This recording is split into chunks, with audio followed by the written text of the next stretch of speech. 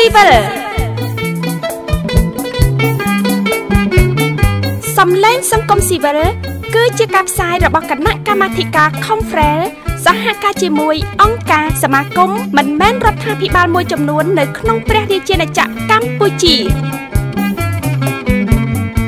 សំឡេងសង្គមស៊ីវិលមានគោលបំណងប្រមូលផ្ដុំមតិយោបល់ទស្សនៈការវិភាគការសង្កេតឃ្លាំមើល និងផ្ដល់ព័ត៌មាននានា ក្នុងការចូលរួមស្ថាបនាសង្គម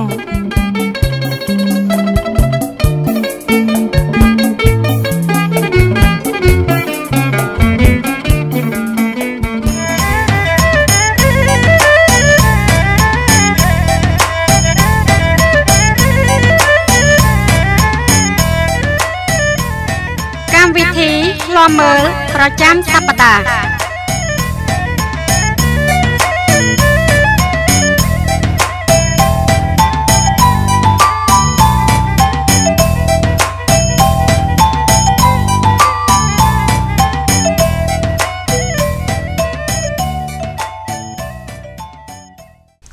រាបសួរប្រិយមិត្តអស់លោកស្រីតាមដានកម្មវិធីក្លំមើលប្រចាំសប្តាហ៍ថ្ងៃនេះខ្ញុំបាទគុលមយៈបញ្ញានាយក Confrel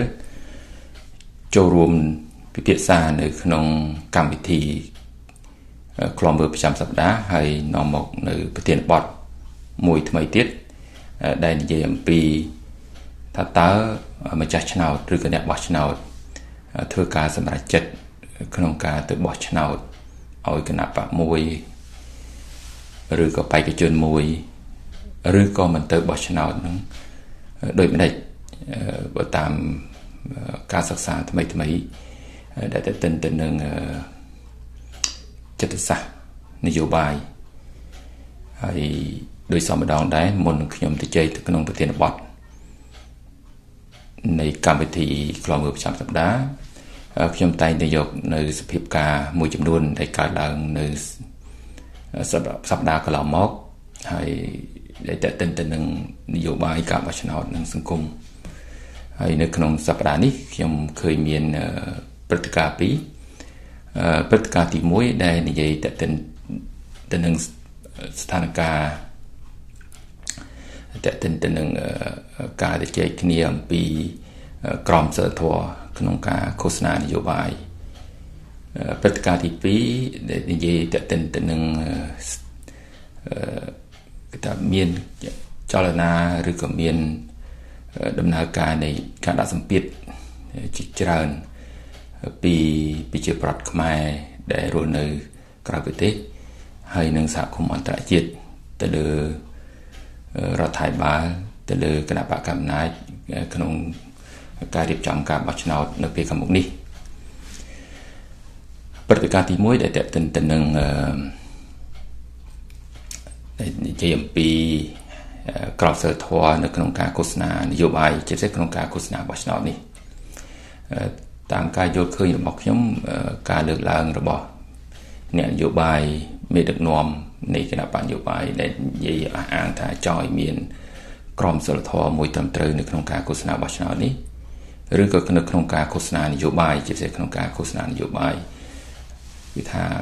មានការលើកឡើងថានិយាយការនិយាយស្ដីឬក៏ការលើកឡើងបញ្ហាផ្សេងផ្សេងហ្នឹងគឺថាកុំឲ្យមានតន្តិនទៅនឹងការជេរប្រមាថការវាយប្រហារអីគ្នាទៅវិញទៅមក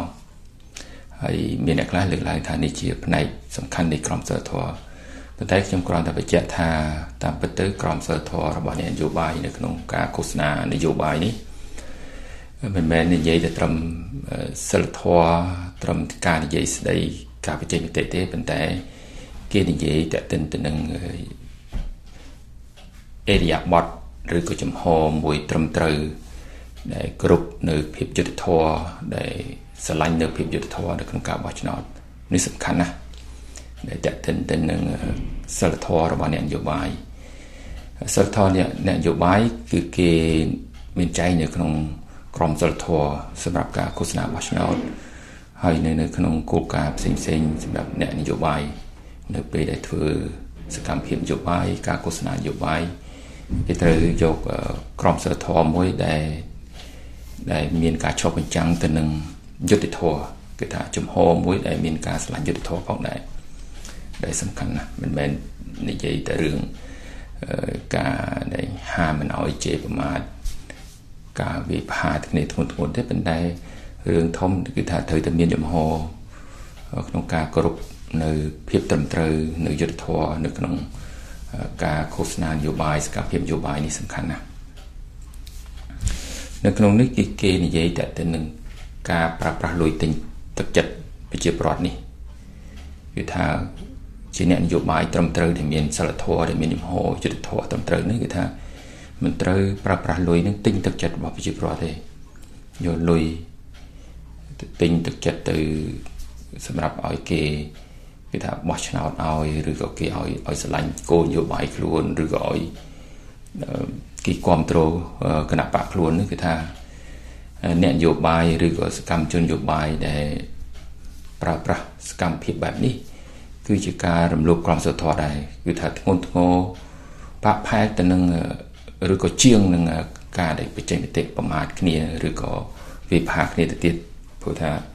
ការទិញទឹកចិត្តរបស់ប្រជាពលរដ្ឋតាមរយៈសម្ភារៈអីហ្នឹងគឺថាជារឿងមួយដែលគេមិនគ្រប់គ្រងទេ គឺជារឿងដែលគម្រប់រំលោភក្រមសីលធម៌ឬក៏ចំហដែលមិនឆ្លាញ់ភាពត្រឹមត្រូវនឹងគឺថាធ្ងន់ធ្ងរណាស់ ទី2គឺការប្រើប្រាស់ធនធានរដ្ឋដែលសម្រាប់តែខ្លួនឯងតែគណៈបកនឹងកិច្ចការគឺថាក្រមបកពួកខ្លួនឯងប៉ុន្តែមិនបានធ្វើឲ្យមានការប្រើប្រាស់ធនធានរបស់រដ្ឋដែលជាគុណធនធានរបស់ជាតិទាំងមូលនឹងគឺថាបែងចែកឲ្យបានត្រឹមត្រូវទៅអ្នកនយោបាយផ្សេងផ្សេងគណៈបកនយោបាយផ្សេងផ្សេងដែលគេអាចមានលទ្ធភាពប្រើប្រាស់ដើម្បីធ្វើសកម្មភាពនយោបាយការឃោសនានយោបាយរបស់គេ ត្រង់នេះគឺថាដែលខ្ញុំចង់និយាយនេះគឺថាការឃោសនានយោបាយសកម្មភាពនយោបាយនេះមិនមែនតែត្រឹមនិយាយតែទៅនឹងពេលឃោសនាបោះឆ្នោតទេគឺថាមុនការឃោសនាបោះឆ្នោតទៀតដែលសំខាន់ណាស់គឺថា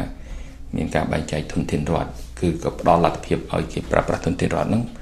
ហើយបានផាផែនឹងយើងដែរណាបើទោះបីថាគណៈបកមួយកម្មណាយគណៈបកមួយមកប្រគល់ប្រជែងក៏ដោយឬក៏គណៈបកមួយប្រឆាំងក៏ដោយ ក៏ត្រូវតែមានការបែងចែកការប្រើប្រាស់ធនធានរដ្ឋនឹងឲ្យតាមសមធម៌តែនឹងគឺជាបញ្ហាគឺជាគឺជាសិលធម៌ឬក៏ជំហរដ៏សំខាន់របស់អ្នកនយោបាយរបស់គណៈបកនយោបាយដែលគ្រប់នៅជំហរយុទ្ធធម៌ត្រឹមត្រូវនៅក្នុងការប្រគល់ប្រជែងខាងនយោបាយនេះចំណុចមួយទៀតដែលគេ ត្រូវតែមានគេហៅថាចំហក្រមសីលធម៌មួយបានត្រឹមត្រូវគឺការបើកចំហឬតម្លាភាពនៅការឃោសនាបោះឆ្នោតនេះជាពិសេសឬក៏ការឃោសនានយោបាយគឺការរកចំណូលឬក៏ចំណាយទុនធានលុយកាក់នៅក្នុងការឃោសនានយោបាយនេះក៏មានសារៈសំខាន់ដែរគឺថាត្រូវតែត្រូវតែមានចំហបែបនេះគឺថាចំហបែបនេះហើយគឺជាស្មារតីនៃ នៃសិលធម៌របស់អ្នកនយោបាយឬក៏គណៈបកនយោបាយគឺថាត្រូវតែមានតម្លាភាពដើម្បីឲ្យគេដឹងណាឲ្យគូប្រកួតដឹងឲ្យរាប់ណាយគេដឹងណាឲ្យឲ្យកោចបនឹងគេបានដឹងអំពីចំណូលចំណាយរបស់ខ្លួនណាឬក៏ម្ចាស់ឆ្នោតបើគេដឹងផងដែរនេះគឺជា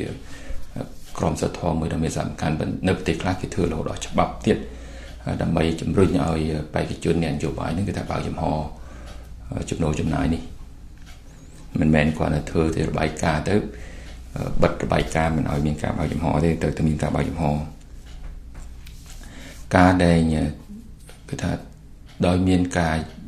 យល់យោគទៅអព្យាស្រ័យនឹងសំខាន់ណាស់គឺថាអ្នកនយោបាយដែលមានក្រមសីលធម៌គឺថាមិនមិនត្រូវប្រើសកម្មភាពទៅធ្វើការកម្រិតកំហែងការបំផិនភ័យការរៀបរៀងទៅ ក្រុមប្រកួតប្រជែងមួយទៀតឬក៏អ្នកគ្រប់គ្រងនយោបាយមួយទៀតគេថាគេត្រូវតែមានការប្រុងប្រយ័ត្នក្នុងការគេថាគ្រប់នៅក្រមសីលធម៌បែបនេះជាអ្នកនយោបាយត្រឹមត្រូវនោះនេះក៏មានសារៈសំខាន់ផងដែរហើយក៏មិនត្រូវបខំឲ្យប្រជាពលរដ្ឋទៅបោះឆ្នោតឲ្យខ្លួនតាមនយោបាយផ្សេងផ្សេងឧទាហរណ៍មានពេលខ្លះបខំឲ្យស្បត់ណាឲ្យ ឲ្យធ្វើការស្បត់មួយដែលប្រឆាំងនឹងចន្ទៈរបស់ខ្លួនឬដោយសារប្រជាប្រដ្ឋនឹងគ្នាមានការភ័យខ្លាចអីគឺថាមានការបង្ខំបង្ខិតបង្ខំយ៉ាងខ្លាំងក្លាទៅប្រជាប្រដ្ឋនឹងគឺថានេះគឺជាបញ្ហាដែលមានតេតិននឹងការគម្រប់រំលោភលើក្រមសីលធម៌ហើយនឹងច្បាប់ផងដែរបាទហើយនេះជាសិលធម៌សំខាន់ៗដែលខ្ញុំចង់និយាយនេះគឺថារឿងសិលធម៌របស់អ្នកនយោបាយនេះគឺថាវាតេតិននឹង ជំហរនៃការគ្រប់ភាពត្រឹមត្រូវយុត្តិធម៌ផងដែរមិនមែនរឿងតេតិនតែរឿងការឃោសនាបញ្ចេញមតិជេរប្រមាថគ្នាទេប៉ុន្តែរឿងដែលពីបង្ហាញពីចំហសកម្មភាពជាក់ស្ដែងក្នុងការស្រឡាញ់យុត្តិធម៌ភាពត្រឹមត្រូវនៅក្នុងការប្រគល់ប្រជែងខាងនយោបាយនេះសំខាន់ណាស់គឺថាគឺថាខ្លួនមិនត្រូវប្រើប្រាស់លុយកាក់ទៅទិញទឹកចិត្តបខំវិជាបរដ្ឋបំផិតបំភ័យប្រើប្រាស់ទុនធានរដ្ឋដើម្បីទៅផលប្រយោជន៍ខ្លួនឯង មិនបានទេទាំងអស់នេះគឺថាមិនត្រឹមតែកំលោបលើសិលធម៌ជាអ្នកនយោបាយត្រឹមត្រូវទេប៉ុន្តែក៏រំលោភទៅលើច្បាប់ច្បាប់បោះឆ្នោតផងដែរបាននេះជាចំណុចដែលខ្ញុំចង់លើកនៅក្នុងអ្វីដែលមានការជជែកគ្នាតទៅនឹងសិលធម៌នៅក្នុងការឃោសនានយោបាយនេះហើយចំណុចទី2ខ្ញុំឃើញពីសភាពការមួយដែរគឺថានៅក្នុងសប្តាហ៍នេះគឺថាមានដំណើរការនៃអឺ គឺថាភាពសកម្មរបស់ប្រជាពលរដ្ឋដែលនៅរស់នៅអានីសមុទ្រហើយនឹងយុវជនពលករដែលរស់នៅក្រៅប្រទេសផងដែរណាជាពិសេសដូចជានៅប្រទេសអាមេរិកកាណាដាសហភាពអឺរ៉ុបបារាំងហើយដែលថ្មីថ្មីនេះមានមានការធ្វើបាតកម្មផងដែរដែលពួកគេបានធ្វើបាតកម្មហើយដែលធ្វើបាតកម្មដែលឃើញសំខាន់មួយ ថ្មីថ្មីនេះគឺថានៅកូរ៉េហើយនៅជប៉ុនគឺថានៅនៅកូរ៉េជប៉ុននេះគឺថាមានយុវជនហើយពលករហើយប្រជាប្រដ្ឋមួយចំនួនដែលរស់នៅប្រទេសនោះគឺថាបានចេញមកធ្វើបាតកម្មយ៉ាងច្រើនកកកដែលគឺជាគឺជាព្រឹត្តិការណ៍មួយដែលបង្ហាញពីអឺការតវ៉ាដ៏ខ្លាំងក្លាពីប្រជាប្រដ្ឋខ្មែរដែលនៅក្រៅប្រទេសព្រោះថាពួកគេអឺ គឺថាមិនស្ថិតនៅក្នុងបរិយាកាសនៃការភ័យខ្លាចដោយប្រជាប្រដ្ឋកម្ពុជានៅក្នុងនៅក្នុងប្រទេសកម្ពុជាទេបាទតែនេះបានពួកគេបានសម្ដែងមតិទំហំហើយនឹងការសម្ដែងរបស់ប្រទេសរបស់ពួកគេនេះគឺឆ្លុះបញ្ចាំងទៅលើក្រមប្រជាប្រដ្ឋដែលដែលគឺថាស្ថិតនៅក្នុងគណៈបកប្រឆាំងដែលគ្រប់គ្រងជាពិសេសគ្រប់គ្រងខាងគណៈបកសង្គ្រោះជាតិនេះតែម្ដង ដែលពួកគេបានសម្ដែងទេអញ្ចឹងអ្វីដែលឱកាសរបស់គេនេះគឺថាគេបានសម្ដែងទេនៅក្រៅប្រទេសទោះបីប្រជាប្រដ្ឋមួយចំនួនដែលគ្រប់គ្រងគណៈបកប្រឆាំងឬគណៈនឹងឬគណៈបកសង្គ្រោះជាតិនេះនៅក្នុងប្រទេសនេះមិនបានសម្ដែងទេប៉ុន្តែតាមរយៈនៅក្រៅប្រទេសនេះគេឃើញមានការសម្ដែងទេហើយយ៉ាងគួរឲ្យមើលទៅឃើញថាពួកគេគឺថាប្រឆាំងទៅនឹងការបោះឆ្នោតនេះ ហើយក៏បានដាក់សម្ពាធទៅខាងរដ្ឋាភិបាលជប៉ុនដើម្បីជប់ឲ្យគ្រប់គ្រងដំណើរការបោះឆ្នោតនេះជាសម្ពាធមួយដែលឃើញមានកើតឡើងនៅក្នុងសប្តាហ៍កន្លងមកនេះហើយមិនត្រឹមតែនេះយើងឃើញមានសហគមន៍អន្តរជាតិដែលកើតឡើងគឺថាជាពិសេសសហរដ្ឋអាមេរិកគឺថាបានធ្វើការចាប់ផ្ដើមនៃការអនុវត្តច្បាប់តែតេតិនទៅនឹងការ តតនកម្មទៅលើបុគ្គលមន្ត្រីដែលតេតិននឹងការរំលោភសិទ្ធិមនុស្សនៅកម្ពុជានេះដូចជាតេតិនទៅនឹងមេបញ្ជាការនៃអង្គរៈរបស់លោកយុរដ្ឋមន្ត្រីគឺថាមានការដាក់តនកម្មលោដល់ធ្វើការអឺបង្កទ្រព្យសម្បត្តិមិនឲ្យធ្វើធុរកិច្ចចំនួនឬក៏ធ្វើគេហៅថាដំណើរទៅប្រទេសសហរដ្ឋអាមេរិកនេះបាទនេះជា ជារឿងមួយសម្ពាធហើយសហគមន៍អន្តរជាតិជាពិសេសដូចជាអឺកិច្ចប្រជុំរបស់សហគមន៍អន្តរជាតិដែលមាន47ប្រទេសនេះគេបានប្រជុំនៅលើកទី38នេះគេថាភាគមួយចំនួនធំគេថាគេបានស្រោះស្រួលគ្នាចេញសេចក្តីថ្លែងការណ៍នៅនៅក្នុងកិច្ចប្រជុំទីទី38នៃ ក្រមប្រសាសិទ្ធិមនុស្សរបស់អង្គការសហប្រជាជាតិនេះហើយគេបានចេញនៅនៃថ្លែងការណ៍ហើយគេបញ្ជាក់ម្ដងហើយម្ដងម្ដងទៀតតាមពិតក្រមប្រសាសិទ្ធិមនុស្សរបស់អង្គការសហប្រជាជាតិនេះបានចេញនៅសេចក្តីថ្លែងការណ៍ហ្នឹងជាបន្តបន្ទាប់ប៉ុន្តែឥឡូវនេះចេញបន្ថែមទៀតគឺថាគេជាបញ្ជាក់ទៀតថាគឺថាអនុសាសន៍របស់គេហ្នឹងគឺថាគ្មានលក្ខខណ្ឌទេមានការឲ្យដោះលែងប្រធានគណៈបពប្រឆាំងលោកកឹមសុខាហ្នឹង ហើយគេថាស្ដារឡើងវិញឲ្យមានការត្រឡប់នៃការចូលរួមរបស់គណៈបពប្រឆាំងក្នុងការប្រគល់ប្រជែងណាបន្ទាប់បីថាការចុះឈ្មោះបេក្ខជនគណៈបកនឹងប្រគួតអត់ដែរប៉ុន្តែក្រមប្រសាសិទ្ធិមនុស្សហ្នឹងកិច្ចប្រជុំទី38នេះនៅតែនៅតែបន្តនៃការផ្ដល់អនុសាសន៍ហ្នឹងហើយគេឲ្យមានការធ្វើវិសោធនកម្មច្បាប់គណៈបកនឹងឡើងវិញកែប្រែគណៈច្បាប់គណៈបកនឹងឡើងវិញហើយស្ដារ សិទ្ធិបោះឆ្នោតរបស់អ្នកនយោបាយដែលគ្នាដែលពួកគេត្រូវបានបដិសេធសិទ្ធិចូលរួមនៅក្នុងកិច្ចការនយោបាយនេះបាទនេះជាជាចំណុចដែលសំខាន់ខាន់នៅដែលអនុសាសន៍ឬក៏ការ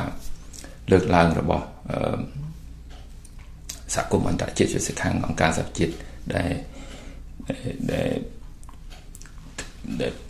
ផ្ដោតទៅលើបញ្ហាសិទ្ធិមនុស្សរបស់អង្គការសហជាតិនេះគេឬក៏គេហៅថាក្រុមប្រឹក្សាសិទ្ធិមនុស្សអង្គការសហជាតិនេះ បាទខ្ញុំយល់ឃើញថាអឺរឿងនេះសម្ពាធនេះគឺថាមានការមានការកើនឡើងណាជាពិសេសសម្ពាធប្រជាប្រដ្ឋនៅក្រៅប្រទេសដែលពួកគេអាចមិនមិនមិនប្រឈមនៅការបំពេញពេកការគម្រាមកំហែងនេះពួកគេបានសម្ដែងមតិតាមរយៈការធ្វើបណ្ឌកម្មដោយសន្តិដោយសន្តិវិធីនៅបណ្ដាប្រទេសមួយចំនួននេះជាពិសេសនៅបណ្ដាប្រទេសធំធំ ឬក៏បណ្ដាប្រទេសដែលមានចំណងសេដ្ឋកិច្ចល្អជាមួយនឹងកម្ពុជាផងដែរណាដូចជានៅសហភាពរដ្ឋនៅបារាំងណានៅនៅអាមេរិកគឺថានៅនៅមានមាន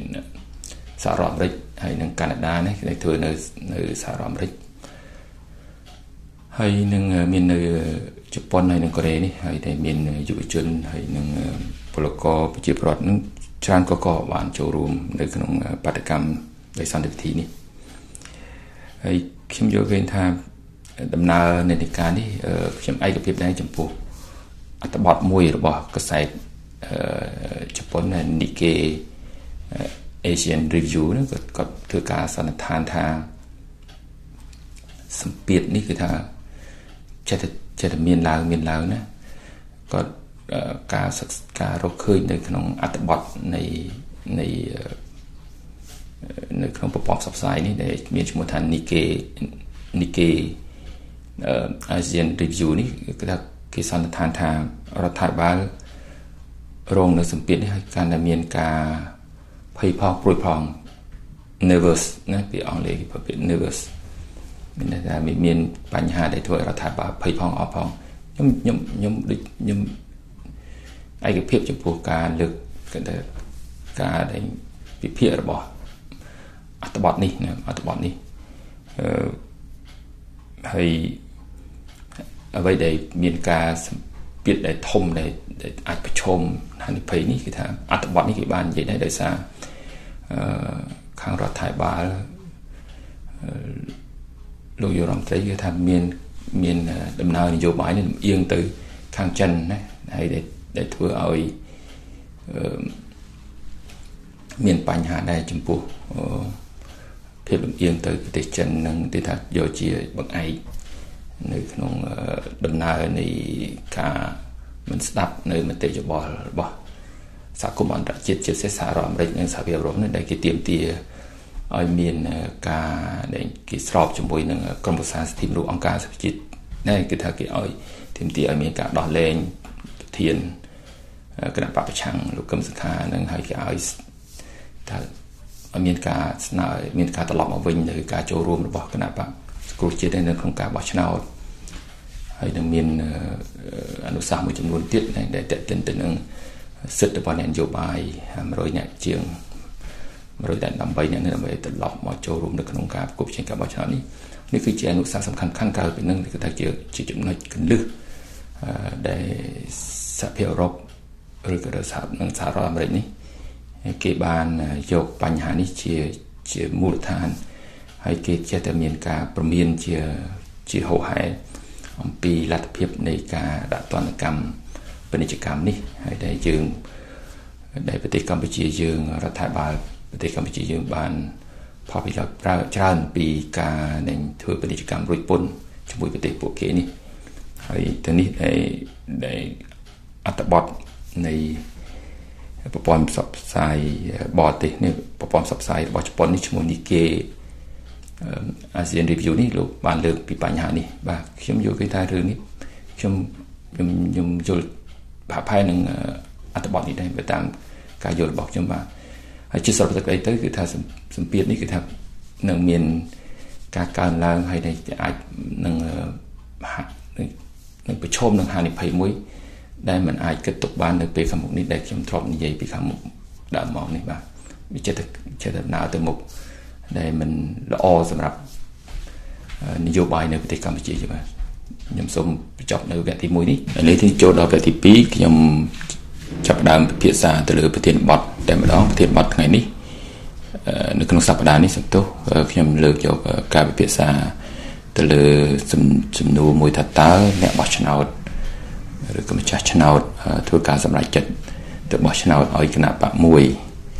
ឬក៏បេក្ខជនមួយឬមិនទៅបោះឆ្នោតនឹងតើវាជាដំណើរដូចម្ដេច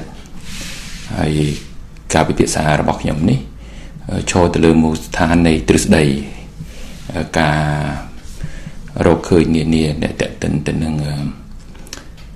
ចិត្តសាស្ត្រនយោបាយឬក៏ political psychology ហើយដែលមានការសិក្សាច្រើនបង្ហាញអំពីដំណើរនៃអ្វីដែលអ្នកបោះឆ្នោតធ្វើការសម្រេចចិត្តនេះអឺចិត្តសាស្ត្រខាងនយោបាយនេះគេសិក្សាទៅលើគេហៅថាអារម្មណ៍របស់អ្នកបោះឆ្នោត emotion គេក៏សិក្សាទៅលើគេហៅថាការយល់ដឹងរបស់អ្នកបោះឆ្នោត cognition ពាក្យភាសាអង់គ្លេសហៅថា cognition cognition ណាហើយក៏គេពិនិត្យមើលអំពីរបៀបសម្រាប់ចិត្តនៅពេលដែលគាត់មានព័ត៌មានពេញលេញណា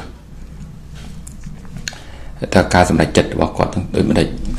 ហើយអ្វីដែលខ្ញុំចង់លើកនេះគឺថាអឺអ្នកបោះឆ្នោតភាគច្រើនដែលគេរកឃើញជាពិសេសនៅក្នុងបណ្ដាប្រទេស ដែលហៅថាមានដំណើរការប្រជាធិបតេយ្យល្អប្រសើរឬក៏មានដំណើរការបោះឆ្នោតប្រជាធិបតេយ្យនឹងវាយូរមកហើយហើយប្រជាប្រដ្ឋមានការយល់ដឹងច្រើនអំពីបញ្ហាសំណុះនេះគឺថាប្រជាប្រដ្ឋភាគច្រើនគេមានចំហទៅលើអឺគេមានជំនឿជឿជាក់ឬគេឲ្យតម្លៃឬ ទៅលើមនុស្សកម្ពុជារបស់គណៈបកឬក៏បេក្ខជនដែលមកចូលប្រគល់ប្រជែងអញ្ចឹងគេគេបានពិនិត្យមើលអំពីអ្វីដែលជាតម្លៃជាជំនឿដែលគេយល់ឃើញថាគេគួរគ្រប់គ្រងប្រជាប្រដ្ឋខ្លះទីហោគេគេមានជំនឿទៅលើសេរីភាពទៅលើសិទ្ធិមនុស្សទៅលើប្រជាធិបតេយ្យហ្នឹងគឺថាគណៈបកណាដែលលើកពីបញ្ហានៃប្រជាធិបតេយ្យសិទ្ធិមនុស្សសេរីភាពហ្នឹងគឺថាគេគេគ្រប់គ្រងគេគេគេ គេគឺថាគេឲ្យគេថាគេបង្ហាញពីចំហគេនឹងគឺថាមានលក្ខណៈយូរវែងក្នុងការគ្រប់គ្រងដល់ប្រទេសនោះឬក៏គណៈបកខ្លះហ្នឹងគឺថាចេញមកពីជំនឿខាងសាសនាណាគេមានគណៈបកនៅខាងអឺរ៉ុបហ្នឹងគេមានជំនឿខាងសាសនាគ្រីស្ទសាសនាកាតូលិកអីចឹងទៅឬក៏ប្រូតេស្តង់អីចឹងទៅគឺថាអង្គការចាត់តាំងគណៈបកនយោបាយហ្នឹងគេមានមូលដ្ឋាន ធំទៅលើជំនឿខាងសាសនាអញ្ចឹងអ្នកបោះឆ្នោតហ្នឹងក៏គេមានជំហរទៅលើជំនឿទៅលើតម្លៃនៃសាសនានោះដែរហើយខ្លះក៏គេមានជំនឿទៅលើរឿងអឺគោលនយោបាយសេដ្ឋកិច្ចដែលគណៈបកហ្នឹងគេគេបានរៀបចំជាដំគតិរបស់គេក្នុងការកសាងសង្គមតាមរយៈការរៀបចំ សេដ្ឋកិច្ចនៅក្នុងប្រទេសនោះប៉ុន្តែជំនឿឬក៏ការឲ្យតម្លៃនេះយើងគេរកឃើញថាចំហរបស់អ្នកបោះឆ្នោតនេះភាគច្រើនច្រើនតែមានគេហៅថាទំហំនៃជំនឿហ្នឹងទៅលើឬក៏ឲ្យតម្លៃមនុស្សកម្ពុជាហ្នឹងភាគច្រើនច្រើនទៅលើដែលគេសរុបទៅឃើញថាមានទៅលើគ្រប់គ្រងគណៈបកកម្មាណាចនិងគណៈបកប្រជា ចឹងឲ្យបានជាប្រទេសមួយចំនួនហ្នឹងមានការវិវត្តនៅពេលដែលប្រជាប្រដ្ឋមានជំហរដែលមានជំនឿទៅលើឬក៏ឲ្យតម្លៃដំកតិមនុស្សគុំជារបស់គណៈបកហ្នឹងគេចុងក្រោយមកគឺថាគេឃើញមានប្រជាប្រដ្ឋហ្នឹងគឺថាហាក់ដូចជាការប្រកាន់នៅឬក៏ការឲ្យតម្លៃទៅលើគណៈបកយោបាយនេះមានពីគណៈបកប្រឆាំងនឹងគណៈបកកម្មាណាចប៉ុន្តែមាន មានមានជាការសម្យុគេថាដំណើរនៃជំនឿនយោបាយនៅគេហៅថានៅកដាលនិយមដែរជំនឿនយោបាយកដាលនិយមហ្នឹងក៏មានការកើតមានប៉ុន្តែគ្រាន់ថាទំហំហ្នឹងមិនទាន់មានកម្រិតធំនៅឡើយទេប៉ុន្តែប្រជាពលរដ្ឋហ្នឹងគឺថាចាប់ដើមមើលពីគេថាឧត្តមគតិនយោបាយកដាលនិយមដែរ ហើយនៅក្នុងប្រទេសប្រជាធិបតេយ្យសេរីនេះភាគច្រើនគណៈបកកម្មាណាយឬគណៈបកប្រឆាំងនឹងនិយាយសងថាតើឧត្តមគតិគេទៅខាងឆ្វេងនិយមឆ្វេងមានថាទៅខាងបែបសង្គមឬខាងគណៈបកកម្មាណាយជាងការជាគណៈបកដែលកាន់ខាងគេថារបៀបអភិរក្សនេះឈរធ្វើសេដ្ឋកិច្ចឈរលើមូលដ្ឋានសន្ទុះនៃការកសាងសង្គមការកសាង ប្រទេសរបស់គេនឹងគឺថាឈរលើមូលដ្ឋានសេដ្ឋកិច្ចនេះហើយដែលប្រជាប្រដ្ឋគេគ្រប់គ្រងគេតែងតែគ្រប់គ្រងឲ្យតម្លៃទៅលើអ្វីដែលគណៈបកអភិរក្សហ្នឹងគេគេកសាងនៅឧត្តមគតិឬក៏មរុគមវិជាគេហើយចឹងការប្រជាប្រដ្ឋក៏បានឲ្យតម្លៃទៅលើរបៀបឲ្យជំនឿទៅលើគណៈបញ្ញយោបាយដែលកសាងប្រទេស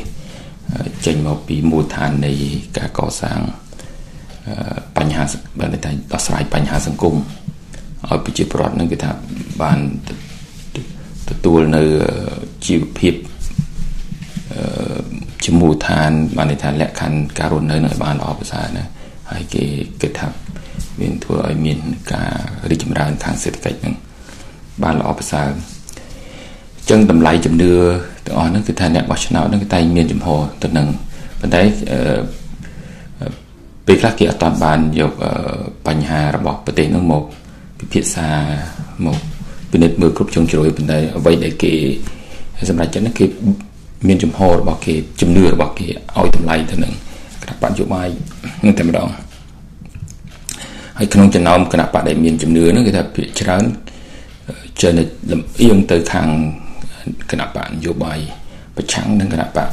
កម្មានឹងឯងហើយហើយគេរកឃើញថាគណៈបកនៅក្នុងគណៈបកសំដៅនៅក្នុងចំណោមអ្នកបោះឆ្នោតក៏យកបញ្ហាក្នុងចំណោមគណៈបកឯក្នុងចំណោមអ្នកបោះឆ្នោតដែល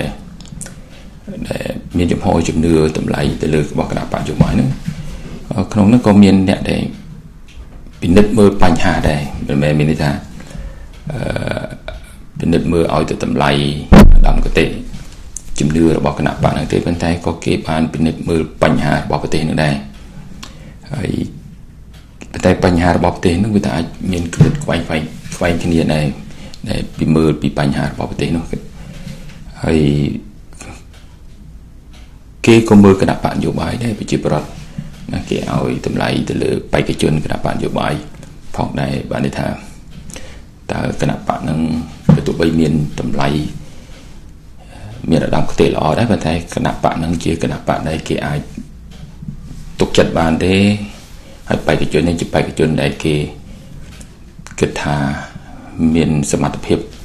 ដោះស្រាយឬក៏គេពេញចិត្តទេបេក្ខជននឹងនេះក៏ជាបញ្ហាសំខាន់របស់អ្នកបោះឆ្នោត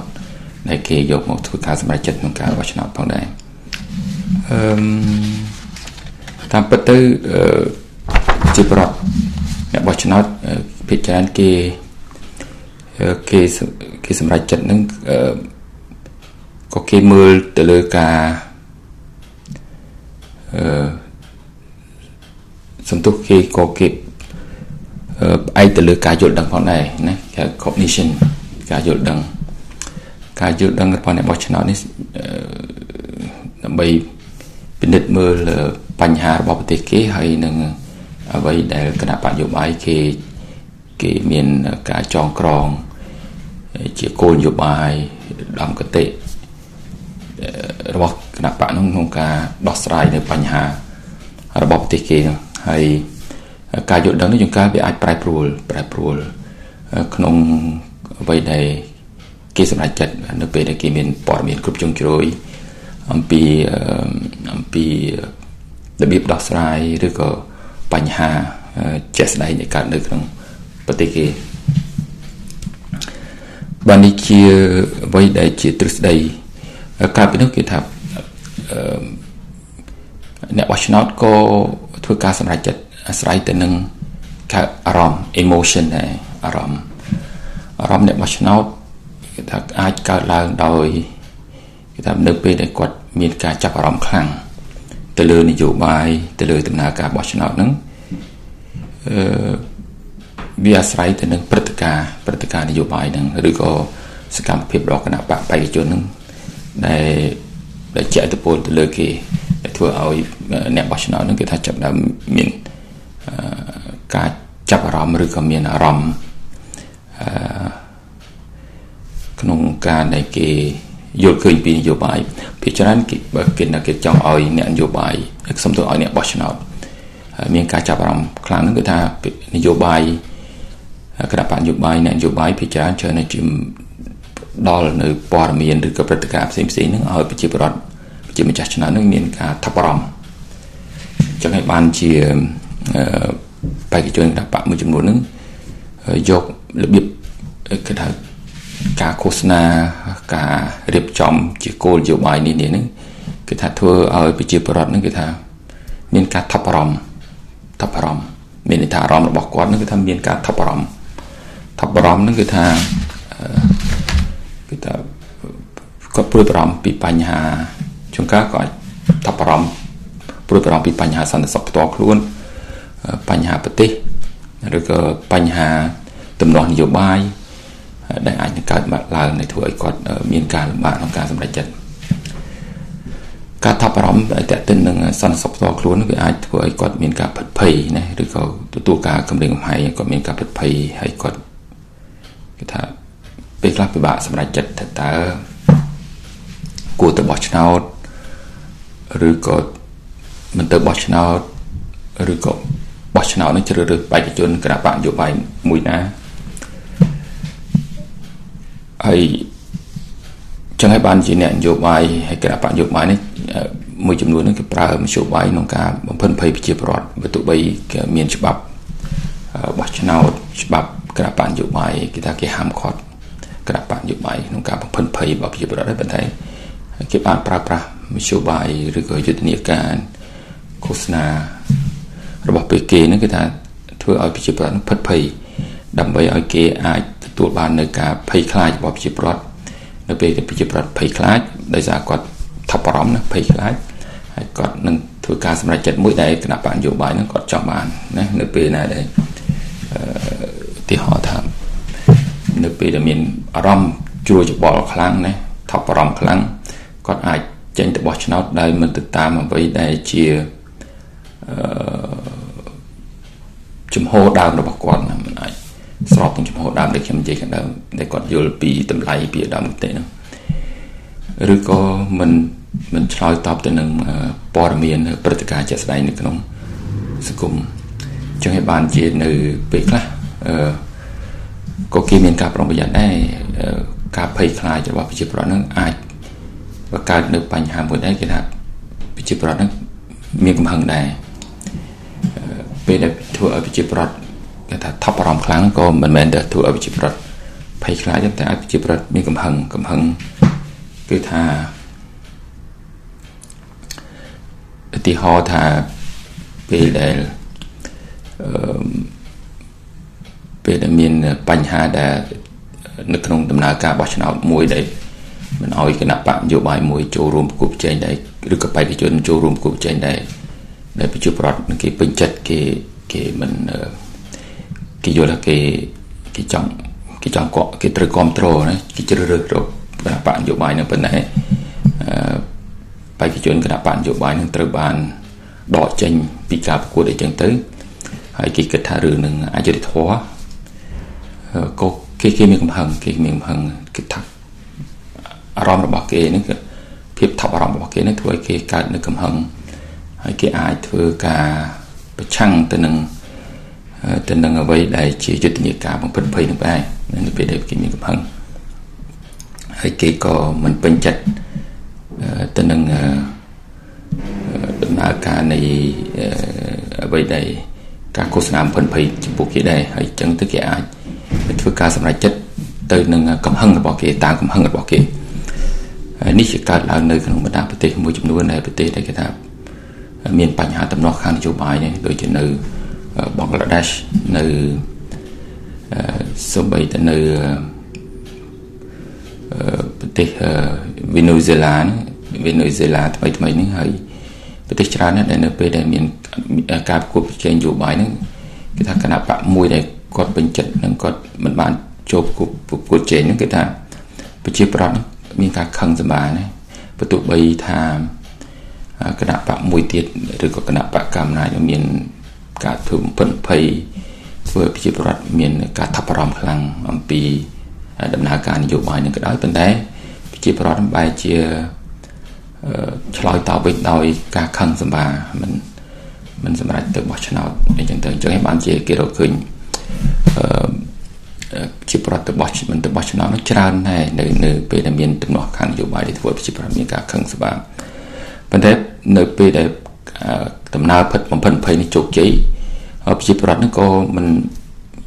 ក៏ហាក់ដូចជាយល់ឃើញថាបញ្ហាសន្តិសុខផ្ទាល់ខ្លួននឹងសំខាន់វិញណាទោះបីថាថប់អារម្មណ៍ហើយខឹងក៏ដោយប៉ុន្តែនៅពេលដែលវាកម្មផិនភ័យហើយវាតេតិនទៅនឹងសន្តិសុខផ្ទាល់ខ្លួននឹងវាធំធំជាង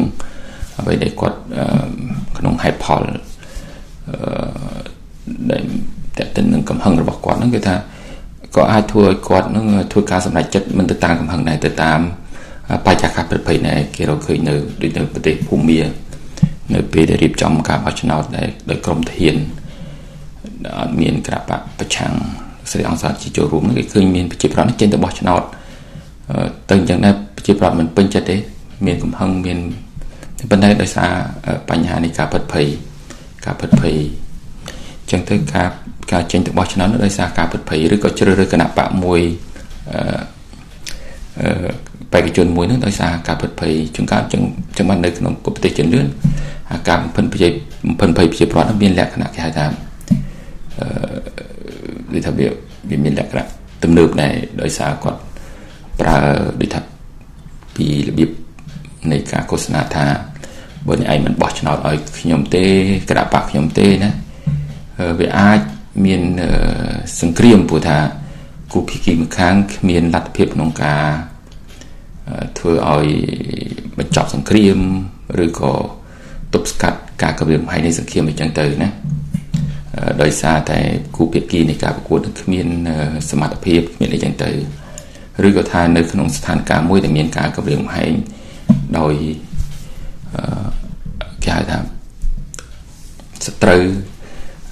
ដោយ កម្លាំងយោធាអីចឹងទៅអញ្ចឹងបានជានៅប្រទេសលោកស្រីដែលមានដំណើរការប្រជាធិបតេយ្យនៅសហរដ្ឋអាមេរិកឬនៅសហភាពអឺរ៉ុបហ្នឹង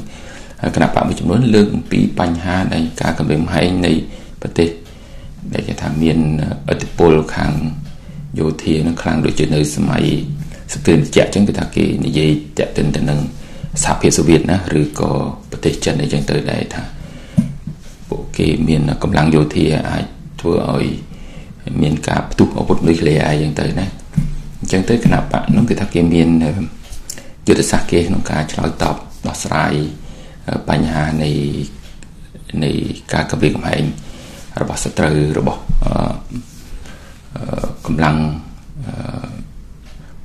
គេថាកម្លាំងកម្រិតកំហែងណាមួយពីពីសត្រូវពីពីប្រទេសមានអំណាចខាង ខាងអាវុធខាងអីហ្នឹងដែលអាចមានលទ្ធភាពមកគម្រាមឲ្យប្រទេសគេចឹងទៅប្រជាប្រដ្ឋក៏ទៅបោះឆ្នោតតាមការនៃបរិយាកាសនៃការភ័យខ្លាចនឹងផងដែរអឺចឹងហើយបានជាព្រឹត្តិការណ៍នយោបាយឬក៏ការឃោសនានយោបាយរបស់គណៈបកនោះវាអាចជះឥទ្ធិពលទៅលើអ្នកបោះឆ្នោតដែរវាអាចប្រជាប្រដ្ឋទៅបោះឆ្នោតតាមអ្វីដែលការប្រភ័យឬក៏ប្រជាប្រដ្ឋប្រតិកម្មវិញដោយមានកំហឹងទៅនឹងអ្វីការផិតភ័យចឹងទៅឬក៏ ដំណើរការនយោបាយនឹងវាអត់មានគេថាមិនត្រឹមត្រូវដែលគេយល់ឃើញថាការការការដែលទាត់ចោលនៅការចូលរួមរបស់គណៈបកបេក្ខជននៃគេពេញចិត្តហ្នឹងចឹងទៅក៏គេមិនមិនទៅបោះឆ្នោតណាក៏នៅក្នុងការសម្រេចចិត្តរបស់គេអញ្ចឹងបានជាមានរឿងហេតុដែលមិនទៅបោះឆ្នោតនឹងប្រជាប្រដ្ឋ ថាតើដូចទៅមកដែរនៅនេះសើក្រម50%ណាឬក៏វេណេស៊ុយឡាវេណេស៊ុយឡាថ្មីថ្មីនេះប្រទេសវេណេស៊ុយឡាមានការបោះឆ្នោតហ្នឹងក៏ក៏ប្រជាប្រដ្ឋមិនចេញបោះឆ្នោតច្រើនដែរហើយដោយសារគេមានកំហឹងទៅនឹងអ្វីដែលតេតិនទៅនឹងការសម្ពាធនយោបាយធ្វើឲ្យគេមានការថប់បារម្ភណាអំពីការបោះឆ្នោតមួយមិនត្រឹមត្រូវការគ្រាហែកចំពោះពួកគេ អឺបាទខ្ញុំចង់ជម្រាបបញ្ហានេះនៅក្នុងវគ្គទី2នេះហើយខ្ញុំនឹងបន្តនៅទៅជ័យនៅវគ្គទី3ទៀតនឹងលើកជាឧទាហរណ៍ជាក់ស្ដែងតើតើប្រជាប្រដ្ឋនឹងគេរបៀបមិនសម្រេចចិត្តក្រៅទៅពីរឿងតេតិននឹងការយល់ដឹងការជំនឿចំហហើយនឹងអារម្មណ៍របស់គេនឹង ហើយអាចធ្វើឲ្យគេមានការថប់បារម្ភមានការភ័យខ្លាចឬក៏មានការដែលខឹងសម្បាហ្នឹងតើមានជាទីហោជាក់ស្ដែងនៅក្នុងដំណើរការនយោបាយនិងដំណើរការបោះឆ្នោតនេះបាទជួបគ្នានៅវគ្គទី3បន្តទៀតក្នុងវគ្គនេះវគ្គទី3ខ្ញុំចូលទៅជជែកទៅលើប្រធានបទបន្តជជែកទៅលើប្រធានបទដែលនិយាយអំពីថាតើម្ចាស់ឆ្នោតឬអ្នកបោះឆ្នោត សម្រាប់ចិត្តក្នុងការជ្រើសរើសគណៈបកឬក៏បេក្ខជន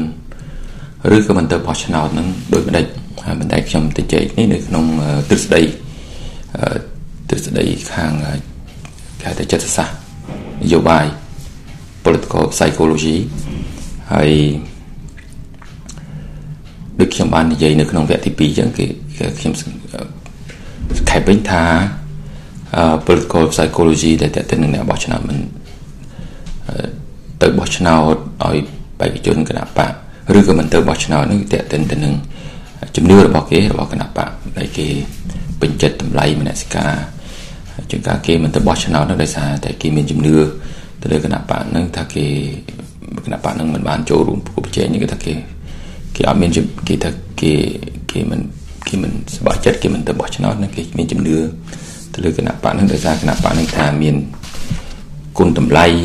មានដំគតិរឿងប្រជាធិបតេយ្យសិទ្ធិមនុស្សអញ្ចឹងទៅឬក៏គណៈបកនឹងមានដំគតិតម្លៃទៅលើកិច្ចការសង្គមយុតិធធអញ្ចឹងទៅហើយពេលខ្លះក៏ក៏មានការជ្រើសរើសគណៈបកនឹងទៅតាមជំនឿរបស់គេដែរគេជំនឿរបស់គេដែរឬក៏បេក្ខជនណាជំនឿរបស់គេទៅលើការផ្លាស់ប្ដូរណា ការផ្លាស់ប្ដូរដែលសំខាន់សម្រាប់គេឃើញមានគេថា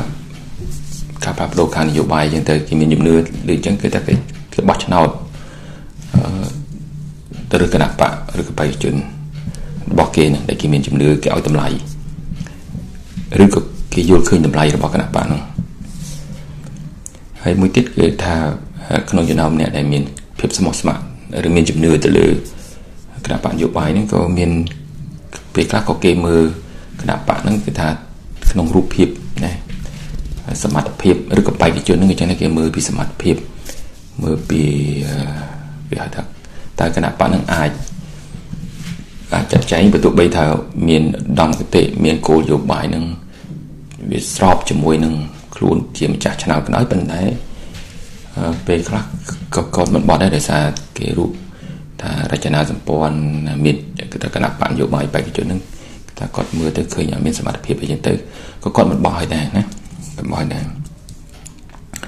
ឬក៏របៀបចាត់ចែងរបស់គណៈបកនឹងគឺថាគាត់មិនអាចមានជំនឿបានហើយជួនកាលគាត់អាចបោះឆ្នោតទៅតាមបញ្ហាណាបញ្ហាដែលកើតឡើងនៅក្នុងកើតឡើងនៅក្នុងប្រទេសនោះដែរហើយដែលបញ្ហាខ្លះវាអាចខុសគ្នាខ្លាំងណាស់ដែលគេអាចបោះឆ្នោតជ្រើសរើសទៅតាមបញ្ហា មួយមួយដែលគេយល់ឃើញទៅតាមបញ្ហាសង្គមឬក៏បញ្ហាសេដ្ឋកិច្ចអឺក៏បញ្ហាបរិស្ថានណាកាប់អ្នកបោះឆ្នោតក៏ទៅបោះឆ្នោតទៅតាមអារម្មណ៍ដែរ emotion ដែរណា emotion ប៉ុន្តែ emotion ដែលគេរកឃើញគឺថាវាមាន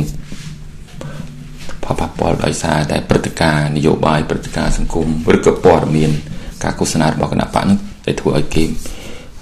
មានការប្រែប្រួលខាងអារម្មណ៍ ប៉ុន្តែរឿងមួយដែលគេរកឃើញគឺអ្នកបោះឆ្នោតដែលអាចធ្វើឲ្យប្រែប្រួលអារម្មណ៍ខ្លាំងថាតើសម្រាប់ចិត្តទៅបោះឆ្នោតឲ្យគណៈបកមួយផ្លាស់ប្ដូរការបោះឆ្នោតឲ្យគណៈបកមួយឬក៏បេក្ខជនមួយឬក៏មិនទៅបោះឆ្នោតនោះរឿងមួយដែលប៉ះពាល់គាត់នឹងធ្វើឲ្យគាត់មានការថប់បារម្ភអង់គ្លេសហៅថា anxiety ហ្នឹងគឺថាថប់បារម្ភថប់បារម្ភគឺថាអាចថប់បារម្ភភ័យព្រួយអខ្លាំងណា តើទៅនឹងសន្តិសុខផ្ទាល់ខ្លួនឬក៏តើទៅទៅនឹងបញ្ហាទំនាស់នយោបាយបញ្ហាប្រទេសហើយប៉ុន្តែភាពថប់បារម្ភហ្នឹងគឺថាបញ្ហាថប់បារម្ភហ្នឹងវាអាចធ្វើឲ្យកើតនៅរឿងពីរដែលធំគឺថាធ្វើឲ្យគាត់ភ័យខ្លាចភ័យខ្លាចគាត់អាចទៅបោះឆ្នោតទៅតាមការភ័យខ្លាចហ្នឹងដោយសារបញ្ហារឿងសន្តិសុខផ្ទាល់ខ្លួនណាឬក៏ថាខ្លាចមកវាប៉ះពាល់ទៅលើប្រទេសជាតិអីចឹងទៅគាត់មានការភ័យខ្លាចអាចធ្វើឲ្យមាន សង្គ្រាមអស្ថិរភាពអីចឹងទៅគាត់បោះឆ្នោតទៅតាមការភ័យខ្លាចហ្នឹងប៉ុន្តែក៏ការថាប្រមនោះក៏ធ្វើឲ្យមានបញ្ហានេះក្រៅភ័យខ្លាចវាអាចជាប្រណខឹងសម្បាវិញណាកំហឹងហ្នឹងក៏ជាជាការនៃបដកម្មទៅនឹងអឺអ្វីដែលកើតឡើងនៅក្នុងអារម្មណ៍របស់គាត់បារម្ភរបស់គាត់អញ្ចឹងប្រជាប្រដ្ឋអាចមិនទៅបោះឆ្នោតឬក៏បោះឆ្នោតប្រឆាំងនឹងការឃោសនាឬក៏ ឬក៏ការគៀបសង្កត់បំភ័យរបស់ប្រជាប្រដ្ឋអញ្ចឹងអាចកើតឡើងដោយសារការខឹងដែរខឹងខឹងសបាមិនពេញចិត្តទៅនឹងអ្នកដែលឃោសនាក្រុមឃោសនាបើគណៈបញ្ញោបាយដែលឃោសនារឿងហ្នឹងក៏គាត់បោះគណៈបកហ្នឹងឬក៏បេក្ខជនហ្នឹងឬក៏មិនចឹងទេគាត់មិនទៅបោះឆ្នោតហ្មងគាត់យល់ឃើញថាការធ្វើការប្រភេទហ្នឹងមិនមិនត្រឹមត្រូវណាធ្វើឲ្យធ្វើឲ្យគណៈបកគាត់ដែលឆ្លាញ់ហ្នឹងគាត់មិនអាចធ្វើសកម្មភាពខាងនយោបាយបានចឹងទៅ ប៉ុន្តែរឿងមួយដែលកើតឡើងដែរគឺរឿងតេតិនទៅនឹងនៅប្រទេសមួយចំនួនហ្នឹងគឺថាតេតិនទៅនឹងថ្មីដែលខ្ញុំឃើញនេះគឺថាតេតិននឹងវណ្ណៈដែរវណ្ណៈវណ្ណៈពលករវណ្ណៈជាន់ខ្ពស់ណាវណ្ណៈអេលីតអភិវណ្ណៈគេហៅថាវណ្ណៈអភិជនណាឬក៏វណ្ណៈកសិករអញ្ចឹងនៅប្រទេសមួយចំនួនហ្នឹងអ្នកបោះឆ្នោតហ្នឹងគេថាគេបោះឆ្នោតទៅតាម ក្រុមគេឧទាហរណ៍ក្រុមពលករគេបោះឲ្យគណៈបកមួយដែលគេជឿថាការពៀផលប្រយោជន៍ពលករដូចនៅប្រទេសអង់គ្លេសគេមានគណៈបកពលករនៅ Labor Party អញ្ចឹងទៅហើយហើយមួយក្រុមទៀតគេបោះឆ្នោតឲ្យគណៈបកដែលមាននយោបាយសេដ្ឋកិច្ចហើយយកលុយយកកាក់បានលុយបានកាក់មកយកមកចែកឲ្យកសិករយើងអញ្ចឹងកសិករហើយនឹងវណ្ណៈជាន់ខ្ពស់អភិជនហ្នឹងគេថាគេមានគណៈបកគេបែបជាអភិរក្សអីចឹងទៅគេ គេយកមូលដ្ឋាននៃការកសាងសេដ្ឋកិច្ចនេះដើម្បីរកឲ្យមានគេហៅថាលុយច្រើនអីចឹងយកលុយបានមកដែលពីការកសាងសេដ្ឋកិច្ចហ្នឹងយកទៅចែកឲ្យទៅអ្នកដែលជាវណ្ណៈជាន់ទាបដូចជាកសិករអញ្ចឹងទៅអញ្ចឹងបានគេរកឃើញតលយៈភាពនៃវណ្ណៈនៅប្រទេសអង់គ្លេសប្រទេសមួយចំនួនគឺអញ្ចឹងដែរកើតឡើងពីកាញ់ការបោះឆ្នោតតាមរយៈវណ្ណៈហ្នឹងឯងហើយបើអញ្ចឹងតាមវាថាជនជាតិណាជនជាតិ សហគមន៍ជនជាតិនីមួយៗនៅក្នុងសហគមន៍របស់គេប្រទេសខ្លះវាមានថាថាភូជាតិអញ្ចឹងសហគមន៍ប្រទេសមួយមួយនេះគេគេអាចមានការកសាងនៅគេហៅថាក្រុមពួកគេគេយល់ឃើញគេការពារអត្តសញ្ញាណគេបោះឆ្នោតទៅតាមសហគមន៍របស់គេគេបានព័ត៌មានក្នុងចំណោមសហគមន៍របស់គេអញ្ចឹងពីមួយចំនួនទៅមួយចំនួនគេគេបោះឆ្នោតរបៀបទៅតាមសហគមន៍គេចង់បានដូចជានៅសហរដ្ឋអាមេរិកដូច ដូចខាងគេហៅថាជនជាតិស្បែកខ្មៅហ្នឹងគេថាគេបោះឆ្នោតភាគច្រើនគេបោះឆ្នោតឲ្យខាងគណៈបកប្រជាធិបតេយ្យយ៉ាងទៅណាគេមិនសូវទៅបោះឆ្នោតឲ្យខាងគណៈបកសាធារណរដ្ឋទេពួកគេយល់ឃើញថាគណៈបកប្រជាធិបតេយ្យនឹងការពារផលប្រយោជន៍ស្បែកខ្មៅនៃជនជាតិស្បែកខ្មៅជនជាតិអាហ្វ្រិកដែលរស់នៅនៅក្នុងប្រទេសអាមេរិកចឹងហើយប្រទេសអាស៊ីជនជាតិអាស៊ីហ្នឹងក៏ចឹងដែរគេមានការយល់ឃើញហ្នឹង របៀបបោះឆ្នោតឲ្យគណៈគណៈបញ្ញយោបាយបេក្ខជនហ្នឹងទៅតាមតាមអ្វីដែលគេយកតែគេគេថាមានជំនឿតគ្នា ទៅលើគណៈបកលើបេក្ខជនហ្នឹងហើយប្រទេសនៅអង់គ្លេសវិញគេថាជំនឿហ្នឹងតាមគ្រួសារហ្មងគេថាកូនបោះតាមឪណាហើយចៅរបស់តាមជាតាអញ្ចឹងទៅគឺថាតតតគ្នាគឺថាសាមានជំនឿថាគ្រួសារហ្នឹងគឺថាជាគ្រួសារ កម្មករពលករអញ្ចឹងទៅគេជឿថាអ្វីដែលជានយោបាយរបស់គ្រួសារហ្នឹងគឺថាគេជឿលើគណៈបកពលករដែលគណៈបកនឹងអាចការពារផលប្រយោជន៍សម្រាប់គេផងសម្រាប់គ្រួសារគេផងអញ្ចឹងគេបោះឆ្នោតតាមតាមអ្វីដែលជាវណ្ណៈរបស់គេក្រុមជនជាតិរបស់គេប៉ុន្តែរឿងដែលកើតឡើងដែលគួរឲ្យចាប់អារម្មណ៍នោះគឺថាការបោះឆ្នោតខ្លះវាអាច កើតចេញពីការដែលមានព័ត៌មានគ្រប់គ្រាន់ដែរការយល់ដឹងគ្រប់គ្រាន់ពីអង់គ្លេសហៅ cognition cognition ហ្នឹងគឺថាជាប្រដ្ឋអាចទៅបោះឆ្នោតមិនទៅតាមអារម្មណ៍មិនទៅតាមជំហរជំនឿមិនទៅតាមវណ្ណៈឬក៏តាមជនជាតិរបស់គេជំនឿរបស់ជនជាតិរបស់គេណាឬមិនតាមគេថាភាពស្មោះស្ម័គ្រទៅលើមនោគមវិជ្ជា ទៅលើគណៈបកទេប៉ុន្តែគេមានព័ត៌មានគ្រប់គ្រាន់ក្នុងការសម្រេចចិត្តរបស់ឆ្នោត cognition ហ្នឹងគេថាគេជួយយល់ដឹងអញ្ចឹងបានជាមានឧទាហរណ៍ខ្លះដែលព្រឿងព័ត៌មានដែលគេបានគ្រប់គ្រាន់ដូចនៅប្រទេសស្វីសអឺមានព័ត៌មានរឿងដែលគួរគេថាចាប់អារម្មណ៍គេថាគួរភ្ញាក់ផ្អើលដែរណាគេថានៅពេលដែលគេធ្វើប្រជាមតិឲ្យប្រជាពលរដ្ឋស្វីសឲ្យបោះឆ្នោតគ្រប់គ្រងអំពីគោលនយោបាយបរដ្ឋាភិបាលនឹងចែក ទៅថាផ្ដល់លុយឲ្យទៅទៅថាប្រជាពលរដ្ឋដែលជាជាពលរដ្ឋស្វីសហ្នឹងត្រូវទៅទទួលបានគេថាលុយជាមូលដ្ឋាន1500ដុល្លារថាខ្ញុំមិនចាំខុសទេអាចតែមានច្រើនជាងនឹងគេថាដុល្លារអាមេរិកណាហើយចឹងទៅប្រជាប្រដ្ឋស្វីហ្នឹងគេទៅគេបោះឆ្នោតមិនទទួលយកគោលនយោបាយហ្នឹង ប៉ុន្តែដូចជាអស្ចារ្យណាដូចជាមានការធ្វើភ្ញាក់ផ្អើលហើយបានបោះឆ្នោតចឹងទៅនៅប្រទេសដែលក្រីក្រប្រទេសកំពុងអភិវឌ្ឍដែលមានដំណើរការបោះឆ្នោតប្រជាមតិអញ្ចឹងប្រជាប្រដ្ឋមើលឃើញផលប្រយោជន៍ខ្លួនគឺថាប្រើគឺថាការអារម្មណ៍ដែលខ្លួនយល់ឃើញនឹងគឺថាភ្លាមគឺថាប្រើអារម្មណ៍សប្បាយរីករាយនឹងទៅបោះឆ្នោតអឺដើម្បីផប់ដើម្បីបានផលប្រយោជន៍ហ្នឹងប៉ុន្តែនៅ ប្រជាជនស្វីសមិនចឹងមិនបោះឆ្នោតគ្រប់គ្រងគោលនយោបាយហ្នឹងសំណួរដែលគេសួរហេតុអីហេតុអីប្រជាជនស្វីសគេគិតឃើញចេះវិញគេថាគេមានព័ត៌មានគ្រប់គ្រាន់ថាលុយនេះជាលុយរបស់គេនេះជាពុនជាលុយពុនរបស់គេបងឲ្យទៅរដ្ឋាភិបាលហើយបានជាឲ្យរដ្ឋាភិបាលទៅបែងចែកលុយពុនហ្នឹងឬក៏បង្កើនលុយពុនហ្នឹងដើម្បីយកលុយបានពីពុនហ្នឹងយកទៅចែកប្រជាពលរដ្ឋអញ្ចឹងហើយតើវាមានសារៈសំខាន់អីទៅចែករបៀបអញ្ចឹង ហេតុអីក៏មិនការចែកបែងចែកលុយសម្រាប់នឹងទៅតាមការងារការធ្វើការងារឬក៏តាមស្ថានភាពជាក់ស្ដែងនៅពេលអត់មានការងារធ្វើអញ្ចឹងមិនក៏ទៅ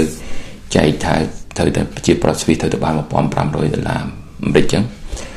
អញ្ចឹងពេលបងមិនបោះគ្រប់ត្រូលគេគិតថាវាវាជាបន្ទុករបស់គេវិញតើទេមិនមែនបើយើងមើលផ្លែថារដ្ឋាភិបាលមានជាបន្ទុករបស់រដ្ឋាភិបាលអញ្ចឹងទៅប្រជាប្រដ្ឋគេមិនបោះឆ្នោត ប៉ុន្តែនៅប្រទេសក្រីក្រគេថាពេលច្រើនគេថាកំពុងអភិវឌ្ឍនេះគេថាមានព័ត៌មានគ្រប់គ្រាន់អ្នកបោះឆ្នោតចឹងបោះទៅតាមគេហៅថាគោលនយោបាយគេតែនយោបាយប្រជាប្រដ្ឋប្រជាប្រដ្ឋហ្នឹងចឹងបានមានរឿងគម្រោងការសេដ្ឋកិច្ចឯធំមួយចំនួនហ្នឹងគឺថាប្រជាប្រដ្ឋពេលបោះឆ្នោតឲ្យគណៈបកហ្នឹងចេះតែចេះតែលើកឡើងពីគម្រោងសាងសង់ធំធំហើយចេះតែបោះឲ្យចឹងទៅដល់ពេល ឃើញមានសំណងមានច្រើនប៉ុន្តែដល់ចុងបញ្ចប់លុយដែលបានមកធ្វើសំណងធំធំដែលបានហ្នឹងវាលុយខ្ចីគេហើយខ្លួនប្រជាប្រដ្ឋហ្នឹងហើយប្រទេសរបស់ហ្នឹងគេថាខ្លាចជាជនរងគ្រោះដោយសេរីការថ្មីថ្មីហ្នឹងគេថាគេរកឃើញថាប្រជាប្រដ្ឋចេះតែគេថាសបាយរីករាយទៅនឹងគម្រោងការវិវត្តនានាដែលរដ្ឋាភិបាលចេញពីគណៈបកមួយនឹងគេថាកម្មណាចយូរនឹងគេថាយកជ័យលុយ ជាពិសេសគេលើប្រទេសចិនហ្នឹងគម្រោងមួយចំនួនហ្នឹងយកមកធ្វើទៅចុងក្រោយទៅអឺពេលដំណើរការទៅវាមិនល្អលក់គេថាលក់ដីឬក៏ជួលដីឲ្យទៅចិនហ្នឹងយូរយូរទៅខ្លួនខ្លាយជាជនរងគ្រោះបានន័យថាអឺទ្រព្យសម្បត្តិគម្រោងមួយចំនួនហ្នឹងវាបែរទៅទៅឲ្យលក់ឲ្យចិនឲ្យអីចឹងវិញទៅហើយហើយប្រទេសចិនហ្នឹងក៏បានផលពីនឹងទៅអញ្ចឹងខ្លួនឯងខ្លាចជាជនរងគ្រោះវាគ្រាន់តែថាបានឃើញ ផ្លូវចឹងទៅប៉ុន្តែគេរកឃើញប្រជាប្រដ្ឋអត់បានប្រើប្រាស់ផ្លូវហ្នឹងទេមិនប្រើទៅឧទាហរណ៍ថាកំពង់ផែក៏អត់មានអ្នកមកប្រជាប្រដ្ឋប្រើប្រាស់កំពង់ផែរស់ស៊ីអីទៅវាទៅជាបញ្ហាខាតអញ្ចឹងវាទៅជារឿងនេះទៅលក់ឲ្យចិនឬក៏ជួយចិនវិញចឹងរយៈពេលវែងគេថាសម្បត្តិនេះចឹងទៅហើយចឹងគ្រោះខ្លាយជាប្រទេសនេះខ្លាយជាជនជាជនរងគ្រោះនៃការខ្ចីលុយពលរដ្ឋមានលុយណាមានខ្ចីគេណាមិនយកពីពុន ពុនពីប្រជាប្រដ្ឋខ្ចីគេណាខ្ចីគេណាវាខ្លាយជាជាបំណុលបំណុលបំណុលទៅពេលយើងមិនអាចរកចំណូលពីអ្វីដែលជាគម្រោងដែលជាគេហៅថាធិដ្ឋារចនាសម្ព័ន្ធដែលយើងបានសង់សង់ហ្នឹងវាទៅជាបញ្ហានៅក្នុងរឿងសេដ្ឋកិច្ចនេះហើយអញ្ចឹងបាយចិត្តលក់ឲ្យទៅម្ចាស់បំណុលវិញទៅអញ្ចឹងគេរកឃើញមានបញ្ហារឿងធំឥឡូវនេះមានការព្រួយបារម្ភ អំពីរឿងថាការសម្រេចចិត្តអ្នកបោះឆ្នោតហ្នឹងថាមិនទៅពេលមានព័ត៌មានគ្រប់គ្រាន់ដោយប្រើតែអារម្មណ៍ប្រើតែជំនឿឬក៏យល់ឃើញនៅក្នុងរឿងវណ្ណៈខ្លួននៅក្នុងរឿងជនជាតិរបស់ខ្លួនណាក្រុមរបស់ខ្លួនហ្នឹងវាអាចអាចមានព័ត៌មានមិនថាมันគ្រប់គ្រាន់ដែរអញ្ចឹងគេរឿងសំខាន់គឺថាត្រូវតែមានព័ត៌មានគ្រប់គ្រាន់ដែរដើម្បីធ្វើការសម្រេចចិត្តប៉ុន្តែ អ្នកបោះឆ្នោតខ្លះក៏គេមានជំនឿច្បាស់លាស់លើដំគតិលើមនសិការគេគេមានជំនឿជួនកាលគេគេមានការវិនិច្ឆ័យទៅលើតាមឧត្តមគតិដែរមិនមែនជារឿងការវិនិច្ឆ័យតាមឧត្តមគតិតាមមនសិការផងគេការយល់ឃើញរបស់គេនឹងថាមិនត្រឹមត្រូវប៉ុន្តែតែវាអាចវាអាចការពារនៅផលប្រយោជន៍មនសិការរបស់គេដែរឧត្តមគតិរបស់គេដែរពួកគេគេជឿគេមិនទៅបោះឆ្នោតហ្នឹងគេតែគេយល់ឃើញថាឧត្តមគតិគេចង់ឲ្យមាន ដំណើរការប្រជាធិបតេយ្យការគ្រប់សិទ្ធិមនុស្សត្រឹមត្រូវគេមិនមើលទៅរឿងអឺរឿងបញ្ហារឿងការវិវត្តអីចឹងទៅណាឬក៏គេមើលឃើញទៅរឿងការវិវត្តគេសុខចិត្តបោះបង់ចោលរឿងប្រជាធិបតេយ្យចឹងទៅតែអស់នេះដែលដែលមានការជំនឿបណ្ដៃទោះបីយ៉ាងណាក្តីរឿងដែលសំខាន់គឺថាវាត្រូវឲ្យប្រជាប្រដ្ឋនឹង ត្រូវពិនិត្យមើលបានគ្រប់ជ្រុងជ្រោយធ្វើការសម្រេចចិត្តនៅក្នុងការដែលទៅបោះឆ្នោតឬមិនទៅបោះឆ្នោតឬក៏ទៅបោះឆ្នោតឲ្យគណៈបកណាមួយណាបេក្ខជនណាមួយមិនបោះឆ្នោតគណៈបកណាមួយនេះមកហើយខ្ញុំសូម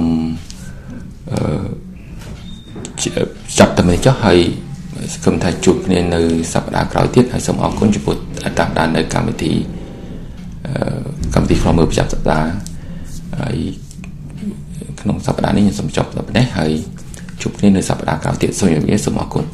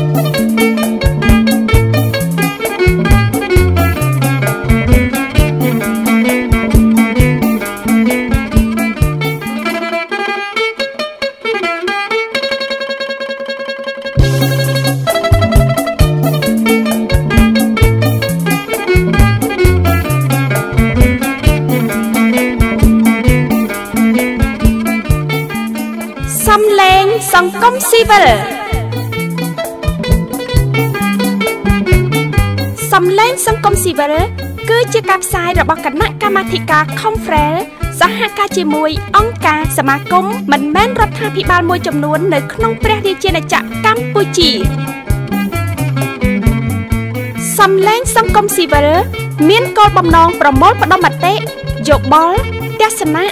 ការវិភាគការសង្កេតឃ្លាំមើលនិងផ្ដល់ព័ត៌មាននានាក្នុងការចូលរួមស្ថាបនាសង្គម។